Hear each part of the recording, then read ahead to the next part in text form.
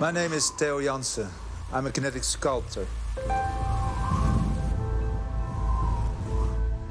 My sculptures are made of very light materials and they are powered by the wind. A part of me is an engineer who wants to map the progress of mobility. Another part is an artist who wants to sculpt the air that surrounds us and give it shape. And always I strive to push the boundaries of what we know and what seems possible to us at this moment in time. The walls between art and engineering exist only in our minds.